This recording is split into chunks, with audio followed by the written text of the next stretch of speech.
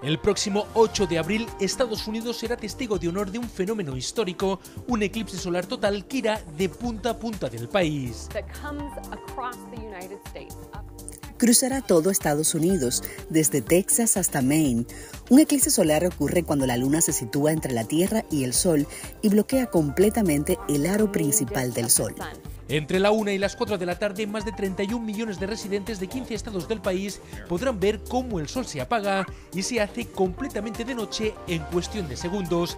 Aún es muy temprano para predecir dónde se podría ver mejor este eclipse, teniendo en cuenta que las nubes podrían aguar la fiesta de muchos, pero se estima que en lugares de Texas como San Antonio, Austin o Dallas se podrá observar perfectamente porque como no son eventos que uno está viviendo muy seguido, entonces cada vez que uno los puede vivir, de verdad que es muy emocionante. Eh, se piensa en muchas cosas, ¿no? De cómo somos nosotros, los seres humanos, eh, en este planeta.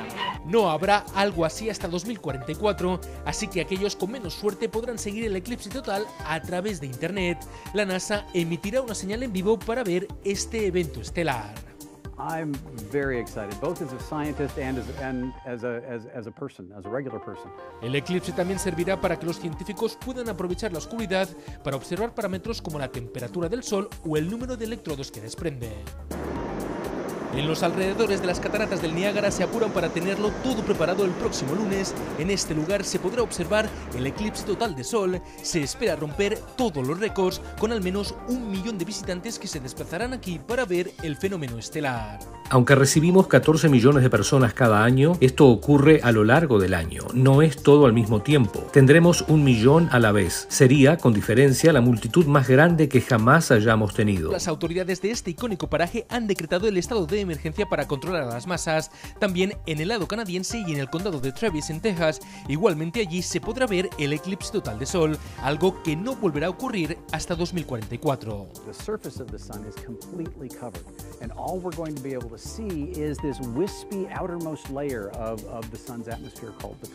Y en algunos sitios ya se empieza a sentir la eclipse manía, aunque muchos esperarán hasta el último minuto, cuando se confirme si las nubes pudieran aguar la fiesta en algunos sitios.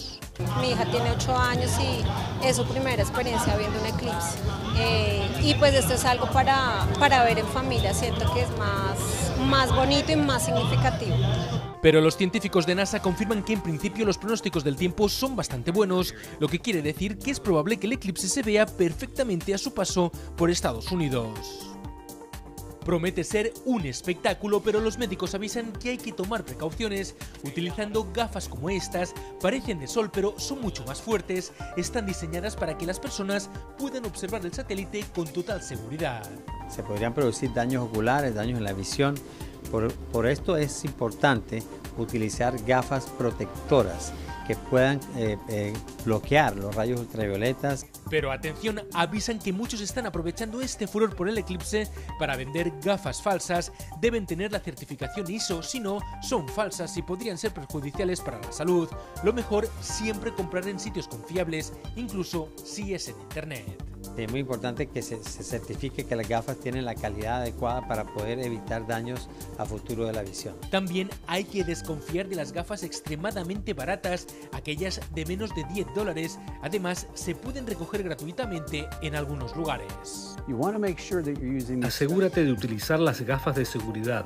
Se pueden recoger en librerías públicas y otros lugares, pero asegúrate de llevarlas puestas siempre que mires al eclipse.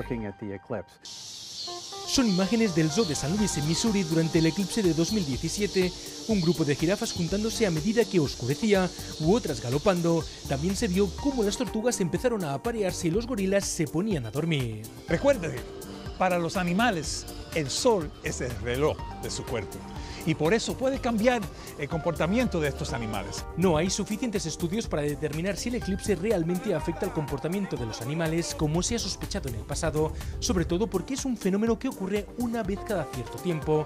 En Estados Unidos el lunes habrá uno y luego no volverá a ocurrir hasta 2044, pero los expertos aseguran que no se ha demostrado que este evento tenga algún impacto negativo en las especies. Como ser humano, si usted viaja en otra parte del mundo, usted coge que se llama jet lag.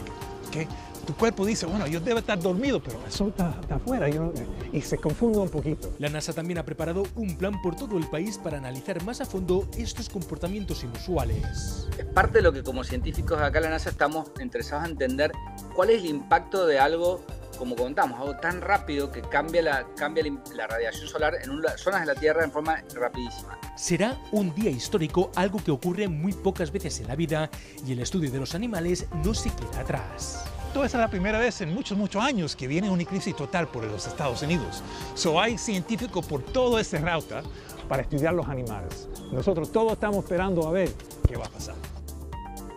El eclipse de sol que se verá este lunes desde Texas a Maine también es una oportunidad de oro para los científicos de la NASA. Está previsto que la Agencia Espacial Estadounidense lance tres cohetes ese mismo día. Vamos a mandar ahora unos cohetes que van a ir a la parte de arriba de la, de la atmósfera y van a poder medir in situ antes, durante y después del, del, eclipse. Esos cohetes sondas solo pueden realizar análisis del Sol y la Tierra durante un eclipse. Es muy complicado recopilar datos de esta forma ya que fenómenos de este tipo ocurren una vez cada muchos años, lo que dificulta el trabajo de los científicos para recopilar información sobre esta brillante estrella. Queremos entender qué pasa cuando la radiación solar desaparece rápidamente bueno, podemos notamos, por ejemplo, que la temperatura cambia. Es algo que queremos entender qué pasa, cuán rápido la, nuestra atmósfera responde a cambios rápidos de la radiación. Son estudios que alguna vez marcaron un antes y un después en la historia de la humanidad. Por ejemplo, en 1919, cuando un eclipse solar total proporcionó evidencia sobre la teoría de la relatividad de Albert Einstein, que él mismo había descrito tres años antes. Ahora esperan descubrir nuevos hallazgos. Pues también queremos entender la, la parte química, los fenómenos físico-químicos que pasan en la parte de arriba de la atmósfera, que tienen mucha relevancia al estudiar, por ejemplo, el efecto de la, de la, de la, radiación solar. Y es que por alguna razón se le llama astro rey porque su radiación también tiene impacto aún muy desconocido en otros planetas. Nos ayuda a entender el efecto en la Tierra, sino entender, por ejemplo, Marte y otros lugares en el sistema solar y la relación entre el Sol y los planetas. Este lunes muchos aprovecharán para tomar las mejores fotos del eclipse total de sol, pero hay que tener mucho cuidado a la hora de colocar el objetivo, tanto de la cámara como del celular, porque los rayos ultravioletas del satélite pueden dañar estos aparatos al estar tanto tiempo expuestos al sol. Si dejas la cámara que le, que le pegue toda esa cantidad de luz y radiación, se va a quemar el sensor y se te va a quemar. Por eso recomiendan utilizar filtros como estos, disponibles en tiendas de fotografía o por internet, sirven tanto para la cámara de fotos como el teléfono y es la manera más efectiva de garantizar que los equipos no se van a dañar.